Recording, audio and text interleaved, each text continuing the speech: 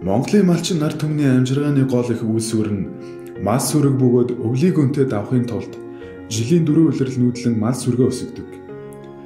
Манай компани нийгмийн хариуцлагынхаа хүрээнд малчтын өрхийн амжиргааг дэмжих зорилгоор олон олон төсөл хөтөлбөрүүдийг хэрэгжүүлдэг. Мал сүргээ өсгөн өнтөө өвлжих, аж амьдралаа дээшлүүлэхэд нь туслах зорилгоор өвлжөөний материалаар туслах ажлыг 2 дахь жилдээ амжилттай хэрэгжүүлж байна. Наваа усан цэрэг одоо жигжиг цэрэг гэдгээ. Тэгээ нормал компани одоо манай энэ уурхай хүчигийн голд ажиллаж байгаа компани малцтай юу юм тийм малцтайгаа зүг дотносоо харьцаатай байж бодно. 10 хайд гашаа барьд гэснээр метрал энэ гэж гашаа бариулах гэж явсан гэсэн. Тэрнийх нэг нь бий байна. Та тэр энэ өвлжөө бариад энэ сарвчтай өвлжөө байсан их дулаахан бол гэсэн одоо мал төлөө төлөвлөхөд онд баг болцооны дулаахан яханд байна. За тэгээд энэ Нармандл компанийнхоо ажилчид усуудаа тэгээд цааш нь ажлын амжилт хүсэж ирээд тэгээд цаашдаа цаашдаа тэр дараа дараагийн марцтай тэгээд ус нэмэ болоод марц биднээтэй харьцаатай тэгээд байж явах холбоо гэж бодож байна. Тэгээд тэр үндэл сайхан байна. Баг нүгж боцтой болж байгаа ходог ус зарим газар гаргаж байна.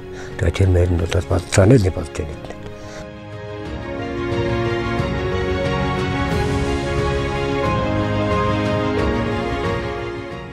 Нар мандал багийн юу компанийн чинь болохоор зөндөө хувь нэмэр оруулж өгч байгаа.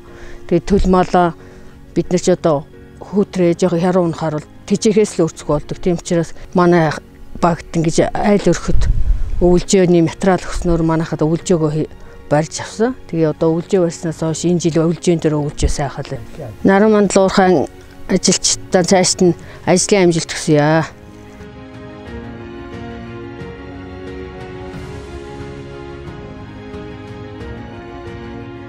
Манай компани сүүлийн 3 жилийн хугацаанд малчт руугаа чиглэсэн малчтаа туслын аяныг өрнүүлж зохион байгуулсан.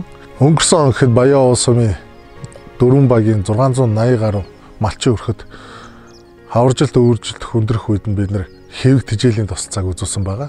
Үүгээрээ тэр малчтад амжиргааг нь дэмжлэг болгож өвөлд нь өвөнтэй сайхан өвлжих, хавард нь төлөө бүрэн боожуулж авах энэ үйл ажиллагаанд нь бид нар тусалж ажилладаг.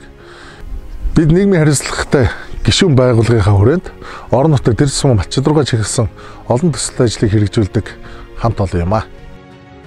Бид энэхүү хэрэгжүүлсэн ажлаа дүгнэхээр өвлжөөний материал хүлээн авсан Эл жигжил сүрэн, Б сайн баяр, Г жамбалд орж, Г энх баяр, П долгор сүрэн зэрэг малчин өрхүүдэрээ зочлоо. Малчид маань өөрсдийнхөө хүссэн хийц хэмжээгээрээ сайхан өвлжөө барьсан байна. Манай компани хамт олонд баярсан талархснаар илэрхийлсэн бүх малчдаа баярлалаа. Бид энэхүү ажлаа цаашид уламжлал болгон зохион байгуулахаар төлөвлөн ажиллаж байна.